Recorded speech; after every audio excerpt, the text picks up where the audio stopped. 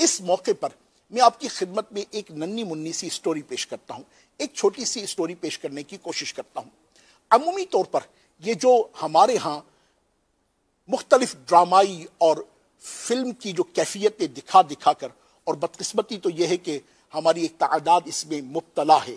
اس کا ابتدلا ابتلا ہے یہ رمضان کریم کے بھی مبارک دن میں، رات میں ہونا تو یہ چاہیے تھا کہ اللہ تبارک و تعالی اور اس کے حبیب کریم علیہ صلاۃ وسلام کی اطاعت کی طرف آتے، اللہ کی عبادت کی طرف آتے، کثرت تلاوت کی طرف آتے، نماز کی طرف آتے، روزے کی طرف آتے، علم دین سیکھنے کی طرف آتے، فرائض علوم سیکھنے کی طرف آتے، نیک صحبت کو اختیار کرنے کی طرف آتے، نیک دوست کو ڈھونڈتے، اس کی قربت اختیار کرتے، اس کے ذریعے سے اپنی آخرت کی بہتری کو صورت اختیار کرنے کی کوشش کرتے کہ جب انسان آخرت کا راہی بن جاتا ہے تو اللہ تعالیٰ کی رحمت سے اس کی دنیا بھی سور جاتی ہے۔ مگر ایک بہت بڑی تعداد، دین سے تو ہے ہی بہت دور، اور دنیا کمانے کے لیے، دنیا بنانے کے لیے، دنیا میں اپنی مناسب زندگی گزارنے کے لیے بھی اس رستے کا چناؤ کرتی ہے کہ جو دنیاوی کامیابی کی طرف بھی نہیں جاتا۔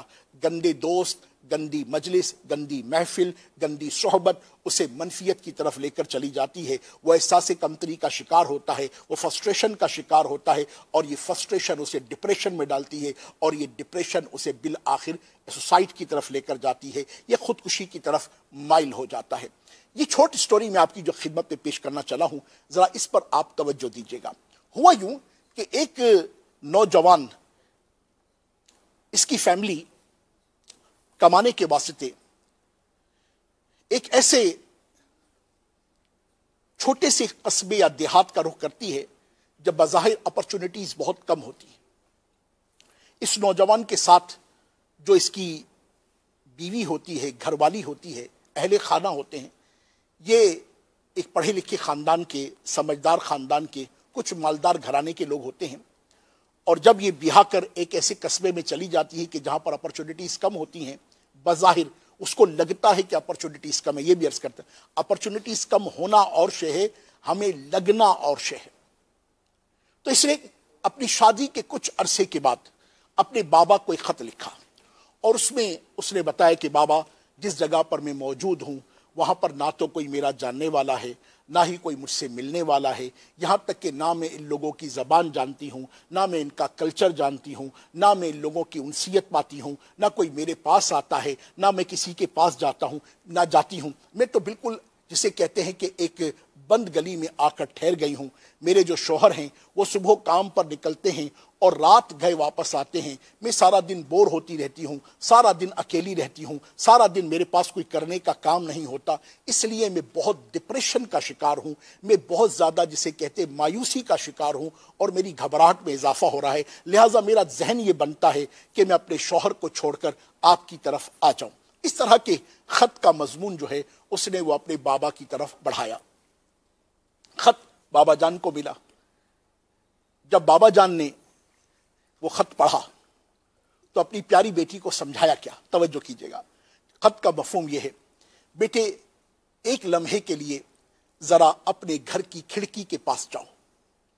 اور گھر کی کھڑکی کے پاس جب تم جاؤ گی، تو اس وقت جو تمہاری کیفیت ہے، گویا یوں ہے کہ تم کھڑکی کے باہر سڑک پر گلی میں جو ویو تمہیں نظر آ رہا ہے، جو نظارہ تمہیں نظر آ رہا ہے، وہ دھول کا ہے، وہ مٹی کا ہے، وہ گرد کا ہے، وہ کچرے کا ہے، وہ کیچڑ کا ہے، وہ اندھیرے کا ہے، جس کی وجہ سے تمہاری یہ کیفیت بنتی ہے۔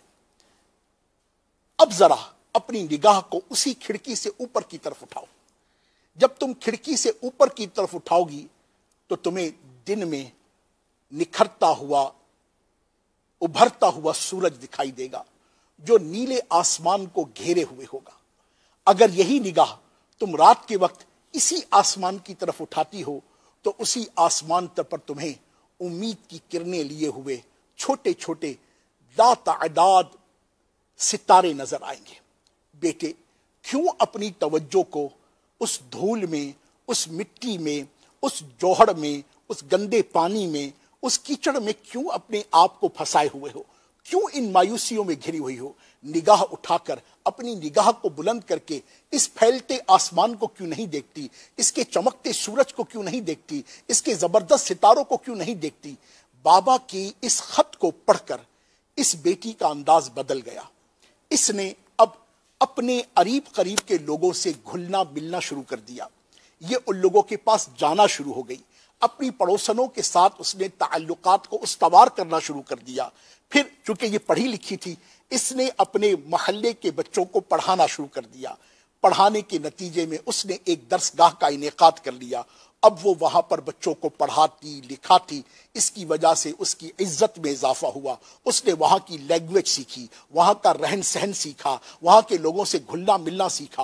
اور تھوڑے ہی عرصے میں بابا کی اس نصیحت کے مطابق جب اس نے بلند نگاہ سے ترکیب بنائی ایفرٹس کیے، محنت کیے، وہ اپنے آپ کو اس مڈ میں، اس کیچڑ میں دھسانے کی بجائے جب بلند و بالا نکھرے ہوئے سورج کو دیکھا، ستاروں کو دیکھا یعنی اپنی ایفرٹس میں اضافہ کیا، اپنی اسکلز میں اضافہ کیا، اپنی کمیونیکیشن میں اضافہ کیا، اپنی ملنساری میں اضافہ کیا، اپنی مسکراہٹ میں اضافہ کیا۔